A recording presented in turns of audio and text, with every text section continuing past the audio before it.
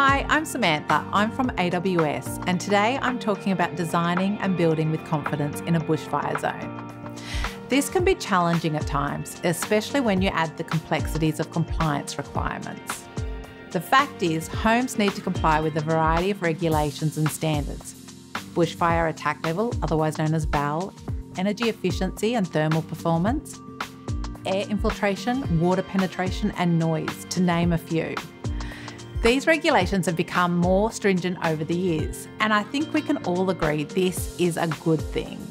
We used to build homes with very little consideration for how they performed.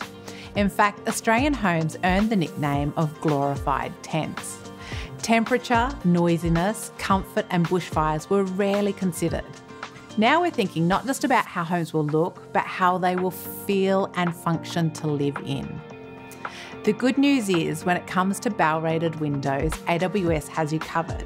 We have the largest range of BAL 40 tested windows and doors in Australia.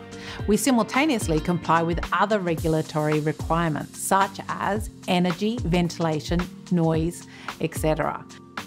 We offer stylish contemporary designs favoured by architects and designers alike. The importance of tested systems over deemed to satisfy cannot be underestimated. Tested systems require the window or door to undergo extensive testing in real life scenarios. They are tested in laboratories with actual fire and extreme heat applied. Deemed to Satisfy, on the other hand, has not undergone any testing. These products are manufactured to a formula in the hope that they will actually achieve consistent results.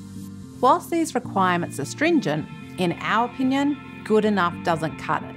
We don't want any doubt. We want peace of mind in what we're offering. So providing tested systems is a no-brainer for us. All our window and door systems that are tested and rated for BAL 40 can be used in lower BAL rated zones too.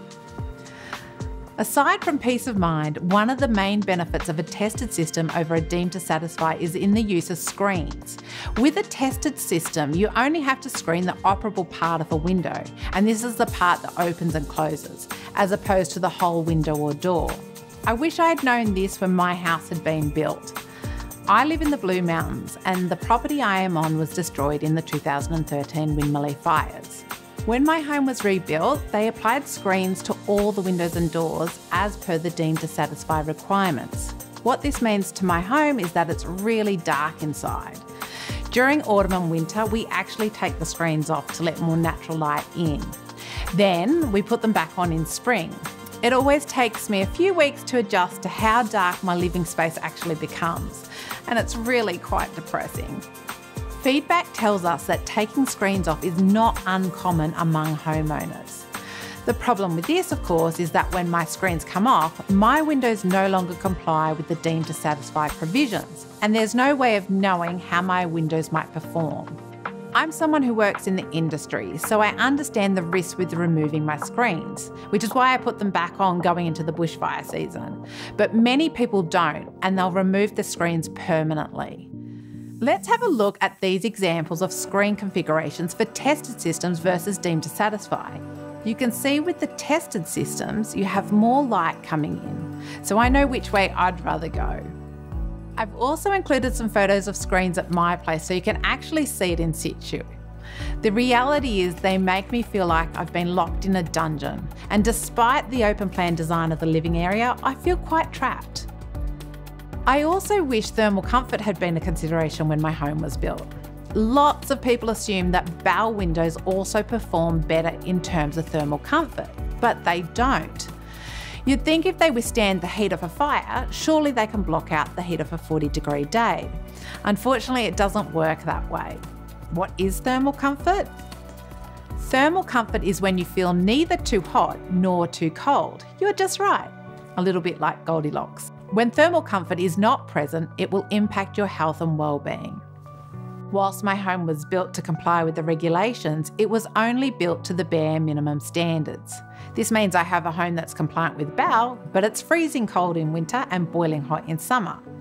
I rely heavily on air conditioning that is woefully inefficient due to the design. So, knowing what I do now, I would build with a thermally broken BAL tested frame with double glazing.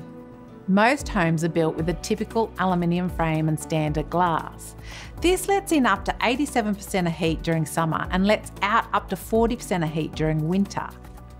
Having a thermally broken frame means there's a nylon barrier built within the frame to reduce the heat transfer in and out of the home, therefore making your home more comfortable all year round.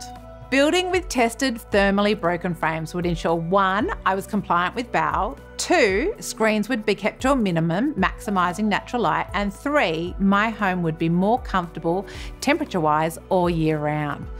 Hindsight's a wonderful thing, isn't it? Selecting windows and doors that comply with BAL and other requirements shouldn't be difficult or problematic. To assist you throughout the process and make it as easy as possible, AWS provide the following the largest range of tested systems in Australia, a national network of fabricators to work with, an architectural specification team to assist with those tricky projects, and full and comprehensive test reports to assist with certification. Well, you've heard from me, but to wrap up, here's some insights from Chris Blaber, who used AWS products when building his home in a bushfire zone on the Mornington Peninsula two major tripwires for us through the process were the extremeness of a BAL 29 zone. We're just off a national park here, plus also the stringentness of the energy rating as well. We've got a huge amount of glass that's going on in this home. And at the time, we went around when we were going on our initial search and we had supplier after supplier say to us, we cannot build windows to these specifications. And we had that moment where we went, oh my God, we have to go back through town planning and spec up a home with lesser quality or lesser size windows. And then after speaking with AWS, they could tick off all those big boxes. And it was that moment of, well, we've got no other choice. We're not going to compromise design. The fact that we had an energy requirement, we had to tick, AWS ticked that quite beautifully. Uh, we also had the fire rating as well. Straight away, we've ticked the two major boxes. And does it feel and look beautiful? Without a doubt. To anybody who's never done this before, it is a daunting process. And to have somebody like AWS, it was awesome to know that they've got a network of approved fabricators. They've got a team we can call on.